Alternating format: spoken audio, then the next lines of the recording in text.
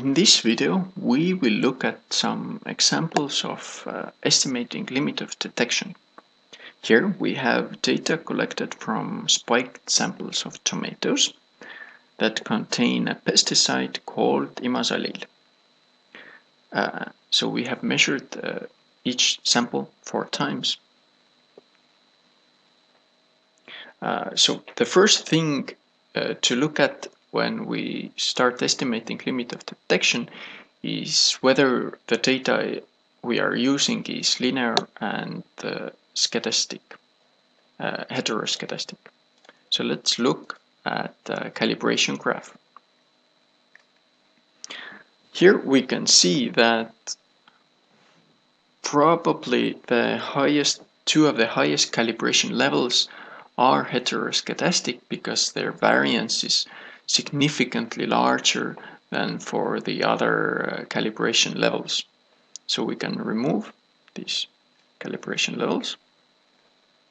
And uh, now still we can see that the third uh, highest calibration level gives significantly larger variance than the other ones. So let's remove one more calibration level.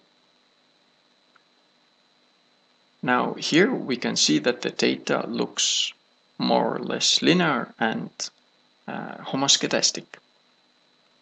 However, you should not really trust uh, too much uh, this kind of visual evaluation uh, of a calibration graph. So we also are going to calculate absolute residuals for this data. I have already calculated the slope and intercept values uh, for the data where the three of the highest calibration levels are removed. And now let's find the absolute residuals.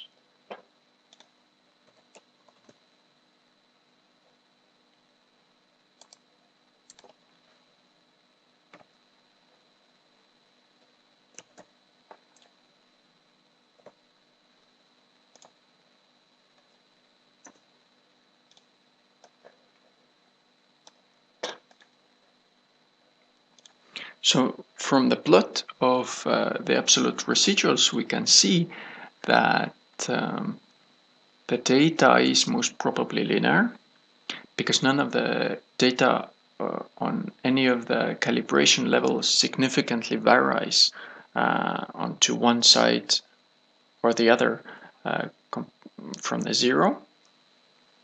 But we can also see that it might still be uh, the data might still be somewhat uh, heteroscedastic.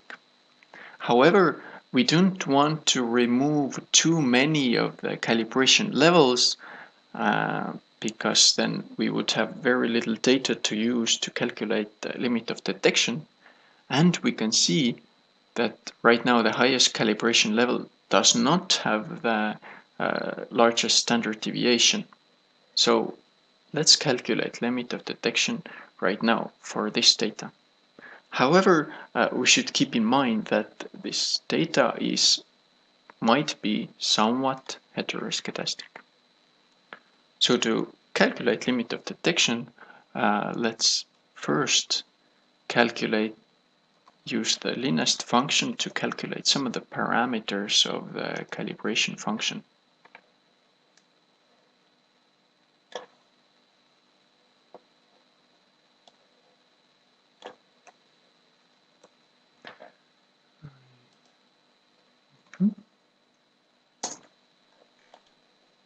Now we can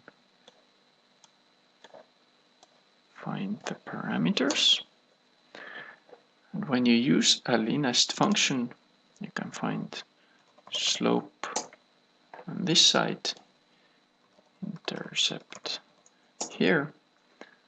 Below intercept is standard deviation of intercept.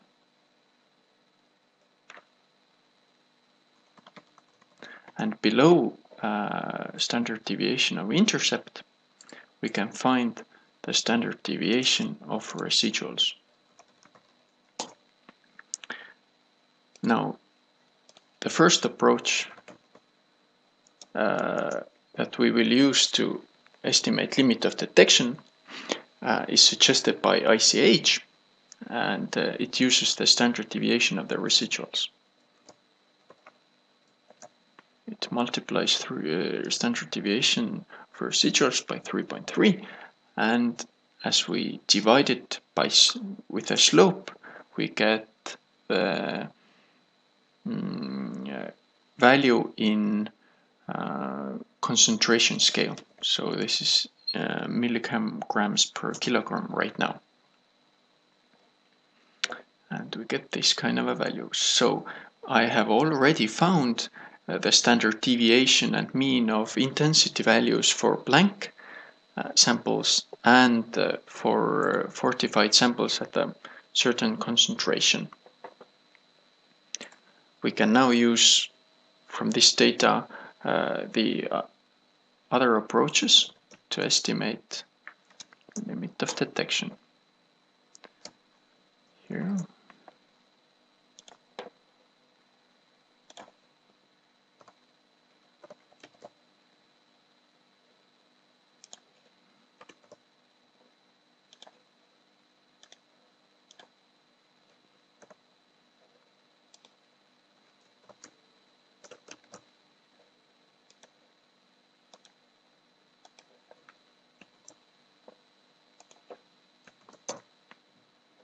Now we can see that this is significantly uh, lower value than for the first approach.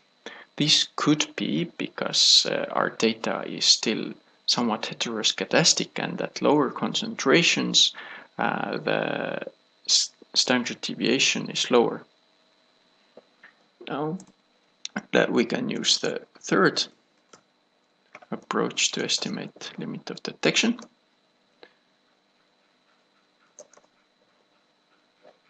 For this we can use the same equation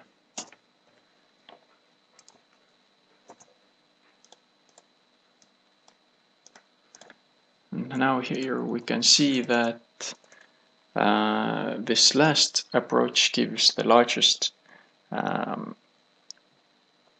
uh, LOD estimate right now. So